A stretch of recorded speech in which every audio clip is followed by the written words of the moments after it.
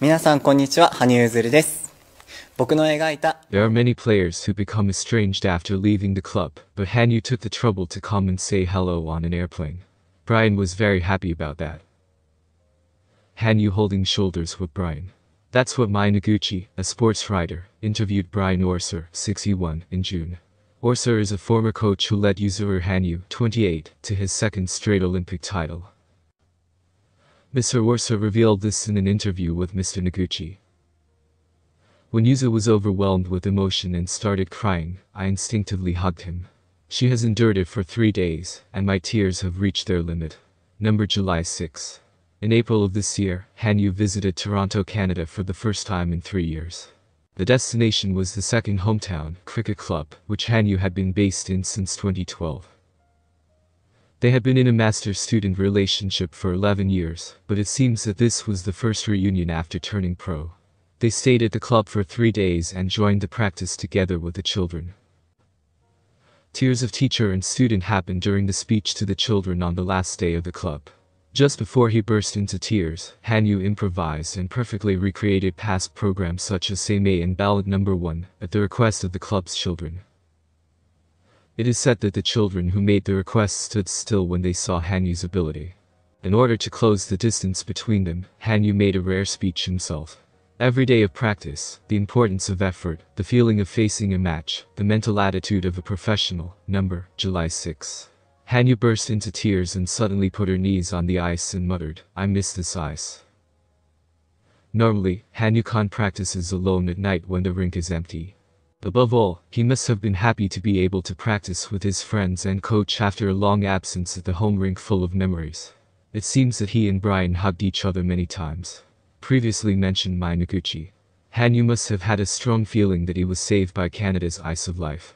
Perhaps to repay the favor, he led the children from the first day they arrived, performing the steps he had been taught several years ago without difficulty. After turning pro, Hanyu always practiced those steps even during ice show practice. He saw Patrick Chan, 32, at a game and skated with him during official practice. I guess he decided that he would be a role model for his juniors next time. Mr. Noguchi mentioned above. I will tell my juniors on my back. Hanyu's passion continues to burn quietly on the ice.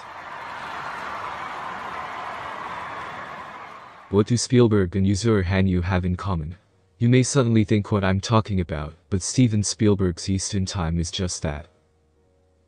Yuzuru Hanyu, 28, brilliantly won two Olympic gold medals in the figure skating men's singles competition. Winnie the Pooh was one of those emotional pillars that led him to these victories. The sight of a large number of Pooh plush toys thrown into the skating rink could impress many people.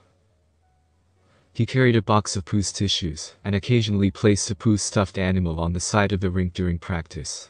According to the Athlete Research Institute's full text of the Yuzuru Hanyu interview, published by Goma Books, he said, looking at that unchanging expression, I feel relaxed. Out of the blue, there's a Pixar movie called Inside Out, 2015. This is a story about the adventures of five emotions in the head of Riley Anderson, an 11-year-old girl. She feels lonely after moving from the countryside to the city. Her emotional support was an imaginary friend named Bing Bong. Like Bing Bong for her, the imaginary friends she had as a child are referred to as imaginary friends. Like Riley, it seems that only children are more likely to have such fantasies. It might be a bit of an exaggeration to call Puyuzuru Hanyu an imaginary friend, but it can be said that he was the person who supported him emotionally.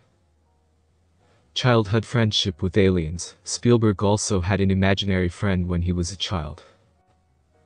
According to John Baxter's translation of The Man Who Fell to Earth, the Steven Spielberg story, Kadokawa Shoten, his parents divorced when he was young. It seems he was bullied at school because he was short. He was saved by a fantastic dream that there might be aliens in space who would befriend him. In the bonus footage of the secret history of the birth of the extraterrestrial DVD Blu-ray, he says, A baby is the alter ego of me and my family when I was a kid.